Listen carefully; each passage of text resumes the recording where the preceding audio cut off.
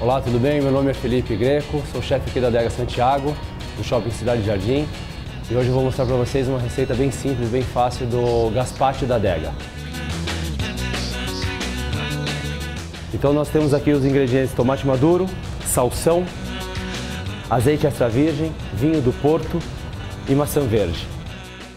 Essa é a primeira fase do nosso gazpacho. A gente bate tudo isso no liquidificador. Vamos colocar o tomate maduro, o salsão, o vinho do Porto, um pouco do nosso amigo azeite extra virgem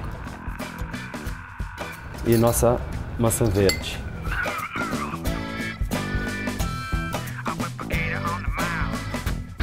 Batido, vamos passar numa peneira aos poucos. Sem apertar, sem pressionar,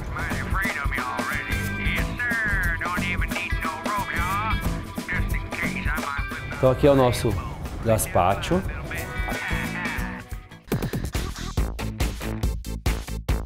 Para finalização, nós vamos ter maçã verde em cubo, pepino em cubo, amêndoas laminadas e tomate com casca bem maduro também em cubo.